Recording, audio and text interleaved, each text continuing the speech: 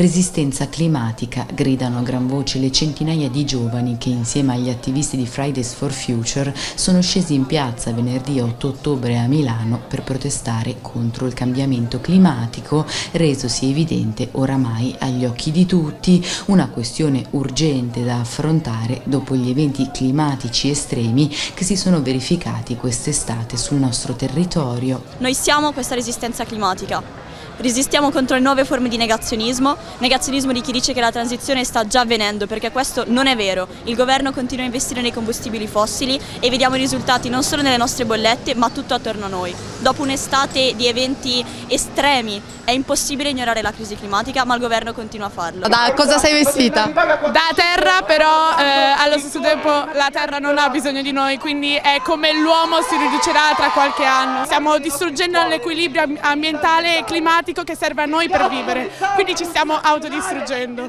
Giovani e attivisti sono così partiti alle 9 di mattina da Largo Cairoli e sono arrivati fino a Gioia sfilando per la città e chiedendo giustizia climatica per un pianeta in cui se si continua così non ci sarà spazio per le nuove generazioni. La cosa bella delle nuove generazioni è che hanno ancora la capacità di immaginare un mondo diverso di non essere disilluse. Quindi forse è proprio quello che le spinge a scendere in piazza e a ricordare che è possibile cambiare le cose e avere il coraggio di dire no, le cose così non vanno bene, ma si può fare la differenza, ma io ci metto il mio ondate di calore, alberi sradicati dal vento, chicchi di grandine, grandi come palle da tennis e alluvioni. Per gli attivisti è ora il momento di intervenire con azioni concrete per quella svolta green verso una Milano attenta all'ambiente. Qual è la Milano green che vorresti?